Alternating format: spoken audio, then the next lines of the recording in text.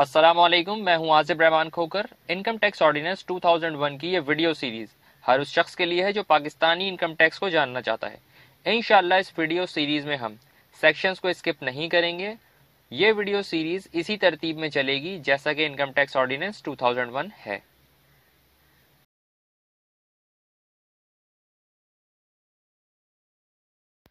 Last video में हमने clause 19 तक कवर किया था।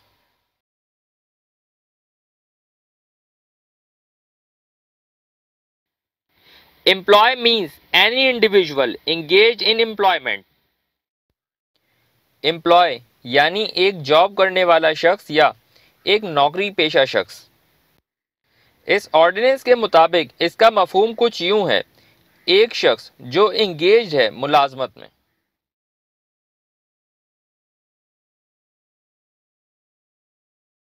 Employer means any person who engage and remunerates an employee employer यानी आजिर यानी एक ऐसा शख्स जो किसी को इस बात का मुआवजा देता है कि वो शख्स इसके बिज़नेस के लिए अपना वक्त दे रहा है।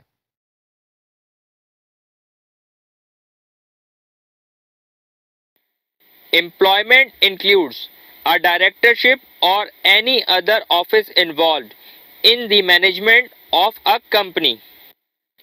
a position entitling the holder to a fixed or ascertainable remuneration or the holding or creating in any public office. इस ऑर्डिनेंस के अकॉर्डिंग एम्प्लॉयमेंट से मुराद है एक डायरेक्टरशिप या ऑफ़िस मैनेजमेंट और एक ऐसी पोजीशन या ओहदे जो उसे होल्ड करने वाले को एक फिक्स मुआवजे के लिए इंटाइटल यानी हकदार बनाता है, या किसी अवामी अहदे पर फायज होना, या इसके लिए काम करना।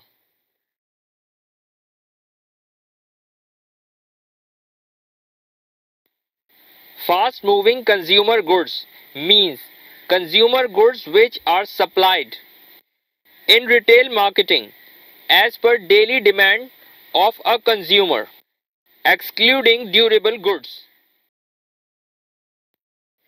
Fast moving goods से मुराद है नॉन ड्यूरेबल प्रोडक्ट्स यानी ऐसी गुड्स जिनको बहुत देर तक नहीं रखा जा सकता मिसाल के तौर पर मिल्क और फ्रूट वगैरह इस ऑर्डिनेंस के अकॉर्डिंग फास्ट मूविंग गुड्स से मुराद है वो कंज्यूमर गुड्स जिनको रिटेलर मार्केट में सार्फिन की रोज़मर्रा जरूरियात के लिए फराहम किया जाता है।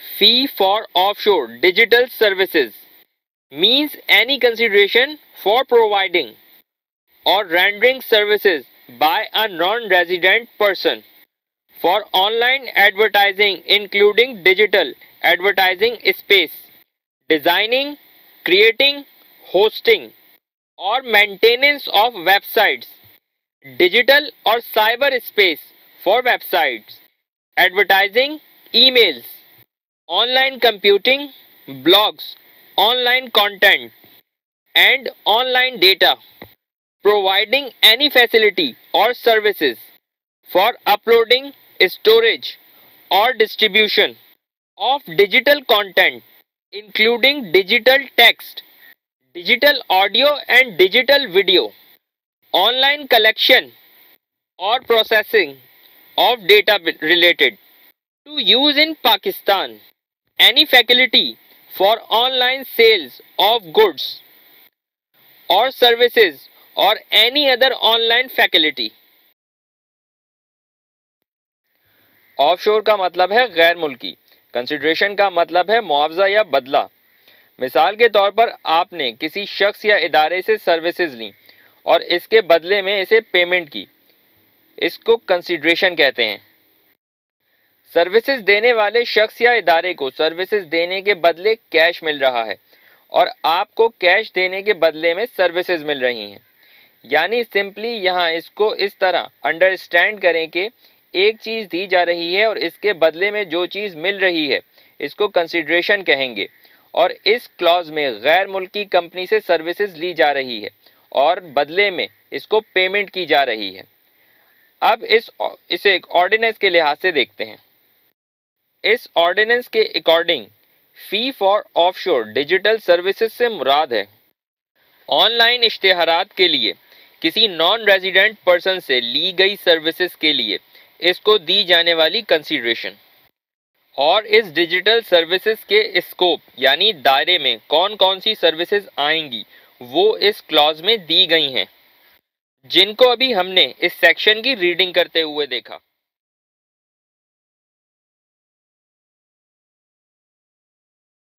F B R refund settlement company limited means the company with the name as incorporated under the Companies Act 2017 for the purpose of settlement of income tax refund claims including payment by way of issuing refund bonds under section 171A. FBR Refund Settlement companies limited से मुराद है एक company जो registered हुई है under companies act 2017 के और इसकी रजिस्ट्रेशन का मकसद है settlement of income tax refund claims जिसमें अंडर सेक्शन 171 ए वाली पेमेंट ऑफ़ रिफंड बॉन्ड्स भी शामिल हैं।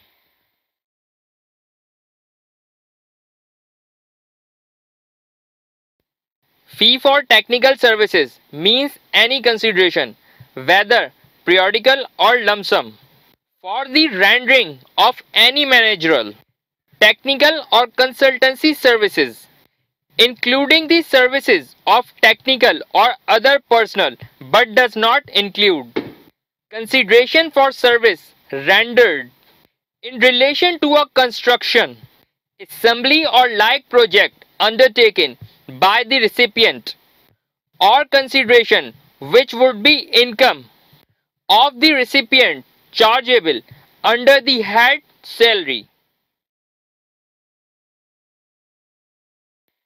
किसी भी मैनेजरल टेक्निकल या कंसल्टेंसी सर्विसेज़ जिसमें टेक्निकल और अदर प्रोफेशनल सर्विसेज़ भी शामिल हैं इनके बदले मिलने वाला मुआवजा, चाहे वो प्रेडिकल हो या लमसम यानी यकमुश्त या एक अमाउंट से सेटल्ड कर दिया गया हो इसकी अंडरस्टैंडिंग के लिए हम ट्रेनिंग सेशंस की एग्ज़ाम्पल ले सकते हैं। अक्सर कंपनीज़ या इदारे अपने एम्प्लॉयज़ की स्किल डेवलपमेंट वगैरह के लिए सेशन कंडक्ट करवाती हैं और इसके लिए वो प्रोफेशनल्स को हायर करती हैं। सर्विसेज़ देने वाले को सर्विसेज़ देने के अगेंस्ट जो कंसिड्रेशन यानी मुआवजा मिल रहा है, वो सैलरी इनकम भी हो सकता है और बिज़नेस इनकम भी। सर्विसेज़ इनकम का एक जर्नल कॉन्सेप्ट ये है कि एक शख्स या इदारे ने अपनी सर्विसेज़ प्रोवाइड की और इनके बदले जो मुआवजा या कंसिड्रेशन मिली, वो इसकी बिज़नेस इनकम है, लेकिन ये ज़रूरी नहीं। बहुत सारे ऐसे ऑफ़िस हैं जो आईटी या इलेक्ट्रिक के लिए एम्प्लॉयज़ को अपॉइंट करते हैं और इनको सैलरी देते हैं। इस तरह के किसी भी अपॉइंटमेंट के अगेंस्ट मिलने वाली कंसिड्रेशन को सैलरी इनकम कहा जाएगा। और ये इस क्लॉज 23 में शामिल नहीं होगी। बिल्कुल ऐसे ही कंस्ट्रक्शन या असम्बली जैसे किसी ग्रुप वर्किंग की बेस पर कुछ परफॉर्म किया गया हो, या कोई प्रोजेक्ट बेस काम, इनकी कंसिडरेशन भी इस क्लॉज में शामिल नहीं होगी।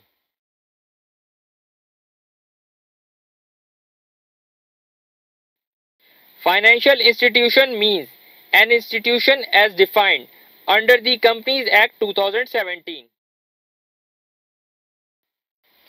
Financial institution की डेफिनेशन के लिए इनकम टैक्स ऑर्डिनेंस 2001 रेफर कर रहा है कंपनीज़ एक्ट 2017 को और कंपनीज़ एक्ट 2017 के अकॉर्डिंग फाइनेंशियल इंस्टीट्यूशन से मुराद है कोई भी कंपनी जो इनकॉर्पोरेट यानी बनाई गई हो पाकिस्तान के अंदर या ऐसी कंपनी जो बनी तो पाकिस्तान के बाहर हो। लेकिन अपनी ब्रांचेस के ज़रिए बैंकिंग या इससे एसोसिएटेड यानी लिंक्ड या इनक्लेरी यानी रिलेटेड कारोबार करती है। पाकिस्तान के अंदर या बाहर, और इसमें एक गवर्नमेंट सेविंग बैंक शामिल हो। लेकिन इस गवर्नमेंट सेविंग बैंक में स्टेट बैंक ऑफ़ पाकिस्तान शामिल नहीं होगा। मजीद इसके स्कोप यानी दायरे में। मुदारबा मुदारबा management company, leasing company, investment bank, venture capital company, financing company asset management company, credit और इन्वेस्टमेंट इंस्टीट्यूशन, कॉरपोरेशन और कंपनी, और कोई ऐसी कंपनी जिसे लॉ ने ऑथराइज किया हो। यानी ऐसी कंपनी जो बाय लॉ इस तरह का कारोबार करने के लिए इख्तियार रखती है। और इससे मुतल वज़ीर ऑफिशियल गजट में नोटिफिकेशन के ज़रिए इसकी वजाहत कर सकता है।